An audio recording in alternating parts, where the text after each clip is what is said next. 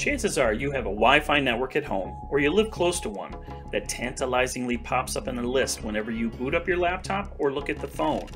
The problem is, if there's a lock next to the network name, as you're probably well aware, you won't be able to access it without a password. Perhaps you forgot the password on your own network, or you don't have a neighbor willing to share the Wi Fi and you need to get on the internet. But whatever your reason, we're here to help you learn how to hack Wi Fi passwords, and that's how you crack the code. I'm Eric Griffith with PC Mag, and here's how to hack Wi Fi passwords.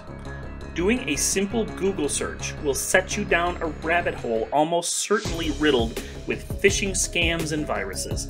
We recommend using a PC for this that you can afford to mess up a bit if you go that route. When we tried it, multiple tools were, thankfully, outright deleted by our antivirus software before we could even try to run the exe installation file. That leaves some highly technical options for you. The first thing to try is Kali Linux, which you may know from the TV show Mr. Robot. You can run this Linux distro off of a CD or a USB key without installing it on your PC.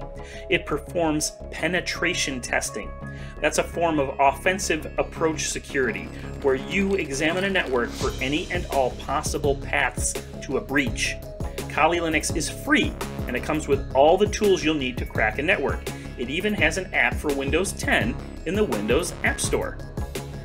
Next up is AirCrack, which has been around for years, going back to when Wi Fi security was based only on the Wired Equivalent Privacy, or WEP protocol. That's an older security algorithm for wireless networks. WEP was weak even back in the day, and it was surpassed in 2004 by Wi Fi Protected Access, or WPA, the most recent security system. Self described as a suite of tools to assess Wi Fi network security, AirCrack NG should be part of any network admin's toolkit.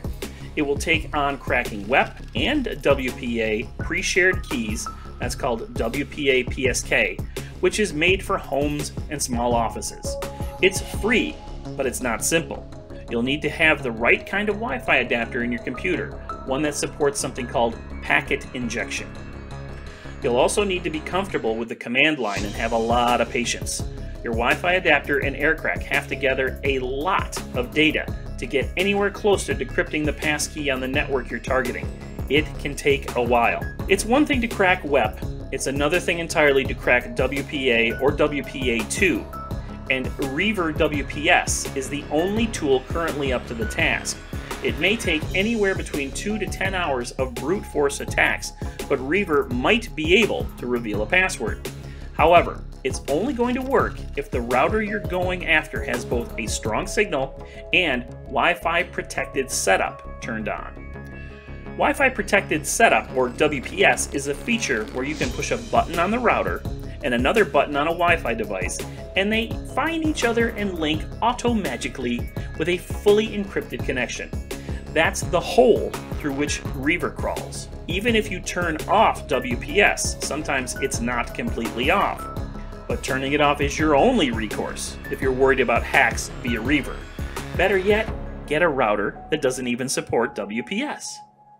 You see, there's a solution for almost every tech problem under the sun, and getting locked out of Wi Fi networks is no different.